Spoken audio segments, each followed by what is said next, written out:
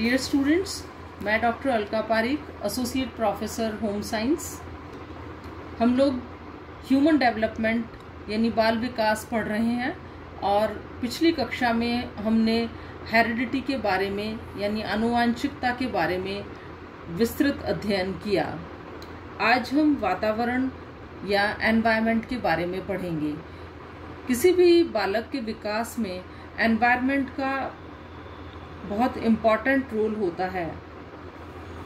अब वातावरण किसे कहते हैं? तो बच्चों, व्यक्ति के चारों ओर जो कुछ भी बाहरी शक्तियाँ विद्यमान हैं, वही उसका वातावरण कहलाता है। वातावरण के अंतर्गत सभी बाह्य शक्तियाँ, प्रभाव, परिस्थितियाँ सम्मिलित हैं, जो जन्म के बाद व्यक्ति को शारीरिक, मानसिक, बौद्धिक, नैतिक, चारित्रिक सामाजिक आदि विकास को प्रत्यक्ष या अप्रत्यक्ष रूप से प्रभावित करती है। अगर सरल शब्दों में हम कहें तो व्यक्ति के चारों तरफ़ जो कुछ भी विद्यमान है, वही उसका वातावरण है। वातावरण की, वातावरण को ही पर्यावरण भी कहते हैं। पर्यावरण दो शब्दों से मिलकर बना है, परि प्लस आवरण। परि का अर्थ है बाहरी या चारों ओर तथा आवरण का अर्थ है ढकना। अतः वे सभी वस्तुएँ जिनसे व्यक्ति चारों ओर से घिरा हुआ है और वह उसका पर्यावरण या वातावरण कहलाता है। पर्यावरण के अंतर्गत सभी भौतिक और अभौतिक वस्तुएँ सम्मिलित हो जाती हैं, जो कि बालक के विकास में महत्वपूर्ण प्रभाव डालती हैं। और इसलिए वातावरण एक अत्यंत ही महत्वपूर्ण और प्रमुख कारक है, जो बालक के विकास को प्रभावित करता है। संक्षेप में, यदि वंशानुक्रम को छोड़ दिया जाए तो बालक के विकास को प्रभावित करने वाले शेष सभी कारक वातावरण के अंतर्गत ही आते हैं। वातावरण की परिभाषाएँ अगर देखें तो विभिन्न मनोवैज्ञानिकों ने वातावरण की अलग अलग परिभाषाएँ दी हैं। पी. जिसबर्ड के अनुसार, पर्यावरण वह कोई भी चीज़ है या किसी एक वस्तु के चारों ओर से घिरे हुए है और उसे प्रत्यक्ष रूप से प्रभावित करती है। बोरिंग लैंगफील्ड और वील्ड के अनुसार, व्यक्ति के वातावरण के अंतर्गत उन सभी उद्दीपनों का योग योग आता है जिन्हें वह जन्म से लेकर मृत्यु पर्यंत तक ग्रहण करता रहता है।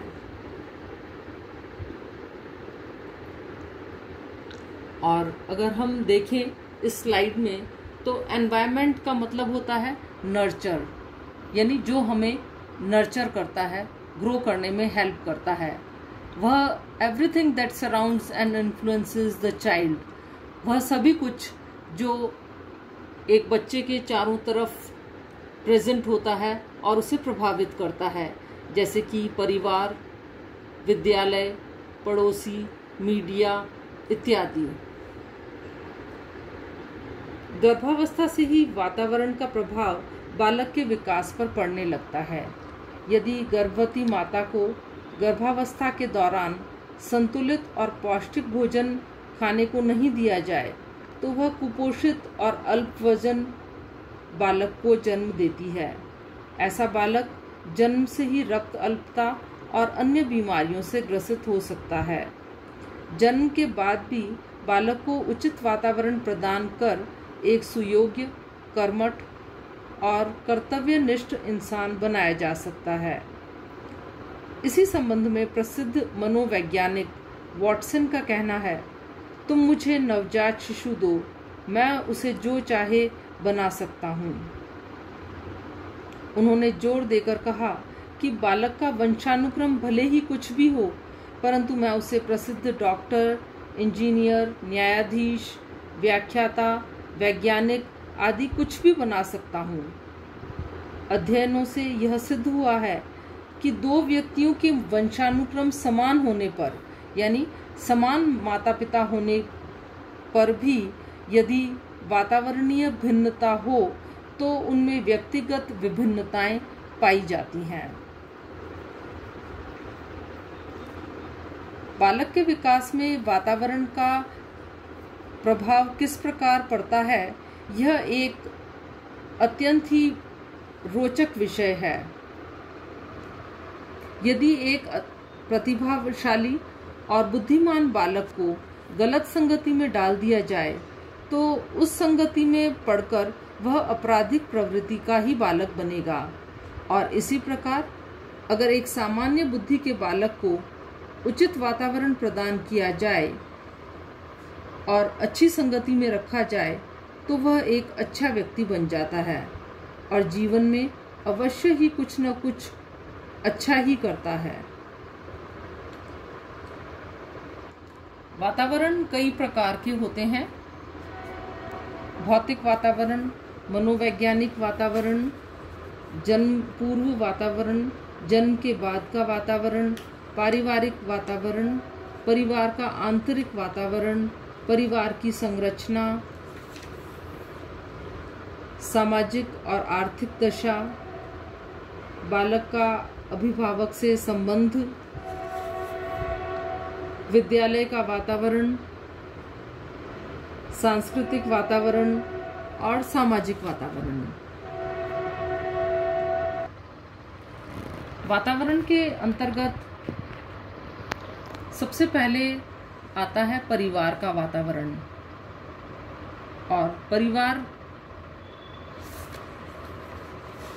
से परिवार का सामाजिक आर्थिक दशा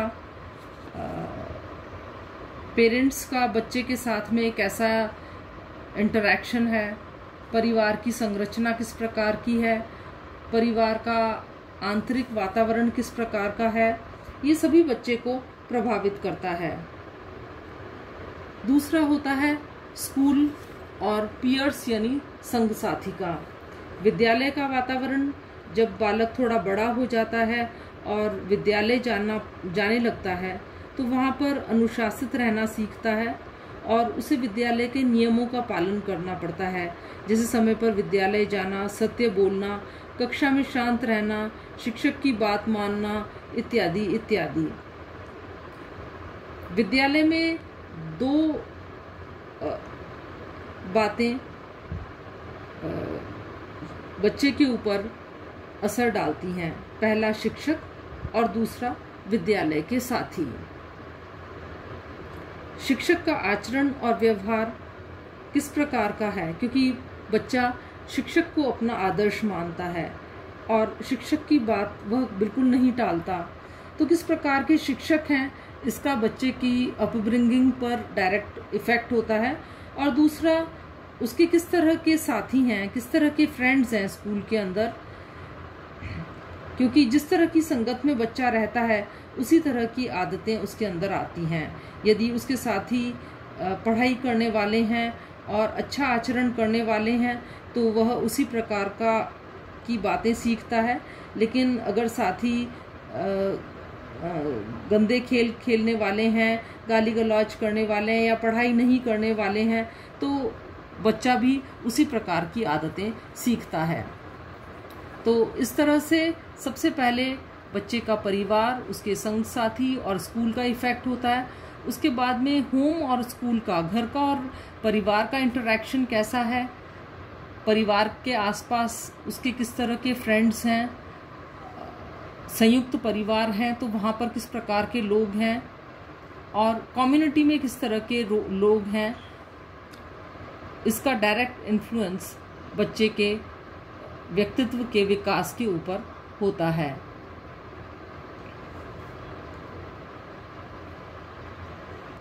ये एक और स्लाइड है जिसमें पता चलता है कि किस प्रकार से समुदाय का, परिवार का, बच्चे के विकास के ऊपर प्रभाव पड़ता है और किस तरह से ये सभी बच्चे के व्यक्तित्व के विकास से जुड़े हुए हैं।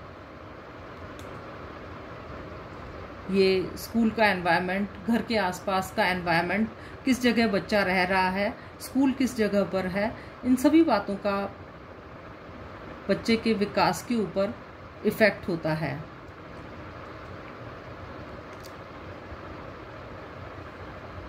लेकिन अंत में हम ये कह सकते हैं कि एक बच्चे के ऊपर परिवार और वातावरण दोनों का हेरिडिटी और एनवायरनमेंट यानी आनुवांशिकता और वातावरण दोनों का ही प्रभाव पड़ता है।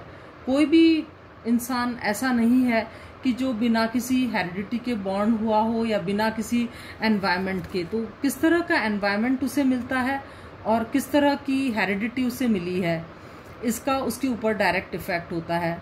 अगर हम देखें, जैसे भोपाल गैस ट्रेजिडी थी तो वहाँ पर जो भी लोग थे उनके भोपाल डिज़ास्टर, जो कि 2 दिसंबर 1984 को हुआ था, वहाँ पर जो लोग थे, उनके जीन्स के अंदर चेंजेस आ गए।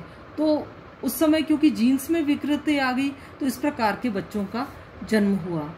तो हम कह सकते हैं कि किसी भी बालक के विकास के लिए आनुवांशिकता और वातावरण दोनों का ही इंपॉर्टेंट रोल होता है। तो एक अच्छा आनुवांशिकता और बढ़िया वातावरण दे करके हम एक बच्चे का समुचित विकास कर सकते हैं। Thank you so much